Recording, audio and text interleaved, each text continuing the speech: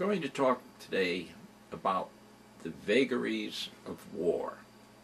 What happens in split seconds?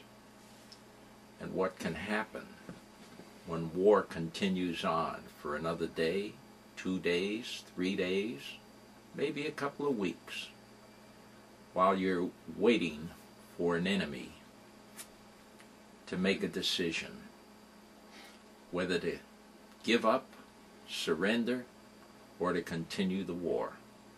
And you really don't know what that decision can be. in the meantime, things can happen that change the whole aspect of that war. So we'll go back to World War II. An incident. What happened to us in a few minutes while in a convoy on a beautiful, warm, sunny day in the Mediterranean. A convoy of ships, bunch of sailors manning those ships, Navy destroyers, a Coast Guard ship, a troop ship manned by merchant crew, everybody lolling about, alert, yes, the men on duty were always alert. But the rest of us were relaxed. On our ship, we were playing cards in the officers' mess, having fun, joking, and then came a tremendous explosion. It was so great that we were convinced immediately that our ship had been hit and that we were going to sink. So we ran for battle stations.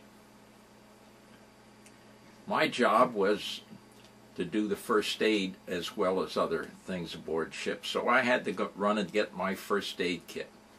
But by the time I got out on deck, the ship had steadied and was plodding along. We had not been hit. But what had happened that night? A group of torpedo planes, German torpedo planes, came in from the, over the mountains on the coast of Algiers. We were 30 miles off the coast. And as I said, it was so peaceful. And then they hit, right at dusk. The first ship they hit was the SS Paul Hamilton. The Paul Hamilton had 504 Army Air Force personnel on board. It was considered a troop ship, but for some reason or other, there was also munitions or gasoline, high test gas. I don't know what it was. But the torpedo penetrated the hull of that ship and blew the thing, the ship with all its crew to smithereens. It was a sheet of flame from the ocean to the sky. Later on, when I saw the pictures of the atom bomb, that came to mind. It's a sight I never forgot. There were 580 men on that ship, and everyone perished. I believe they only recovered the part of one body that fell on another on the deck of another ship. That's what happens in a split second. 580 lives just erased from the face of the earth. There were two other ships hit that were sunk, and two more that were heavily damaged a U.S. destroyer and a merchant ship. So in a few minutes, what a loss. If a war ends a few days earlier, it might mean saving the lives of thousands. We just don't know. Now, during World War II, I was a merchant seaman. I was one of many thousands there were 9,400 and 97 merchant seamen killed during the war. Most people studying history and studying the war are not familiar with that fact. There were 12,000 merchant seamen wounded. There were 2,814 merchant ships sunk. So we took the brunt of the battle wherever we went. The British, their merchant fleet, they lost 30,000 seamen during the war. Now, before the war started, American merchant ships were unarmed. So they were unprepared for Pearl Harbor. Yet, they had lost 70 men killed in action already by German submarines. Ships had been sunk, American ships, before Pearl Harbor, before we entered the war. Most people weren't familiar with that. We were often, people would say to me when they found out I was merchant seaman, how can you take that risk? Because you have no guns and you have no armor. It was true. In the beginning, we didn't have convoys. We sailed alone. And German subs were fast enough and good enough to catch many of the ships that were built earlier and were slower than ours. War isn't pleasant.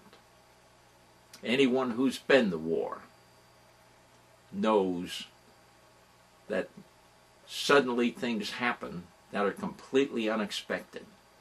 Suddenly you've lost several men or more men, or, as I witnessed, 580 men in an instant. So, when you talk to me, don't tell me that we should have waited a little longer, that President Truman made the wrong decision. Don't tell me that maybe in another week or so the enemy would have surrendered.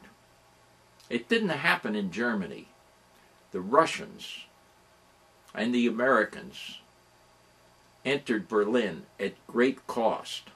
They didn't accept any agreements to negotiate because they knew that negotiations could take weeks or months and in that time men would die. So ending a war in a hurry, ending a war quickly, is important, especially for those of us who were there. So historians who have ideas that their uh, interpretation of history is correct and that if we'd done certain things in a different way, it would have happened according to what they think it would have. No. The vagaries of war can defeat us in a matter of days. 580 men lost. I will say this that of those 580 men, the 504 who were uh, Army and the, and the ones of the Navy gun crew, probably about 30 men, all received or had crosses put up for them without any bodies in a grave site in Algiers. The merchant seamen, 42 to 44 of them, received no accolades receive no honors. There is nowhere that they placed crosses for them.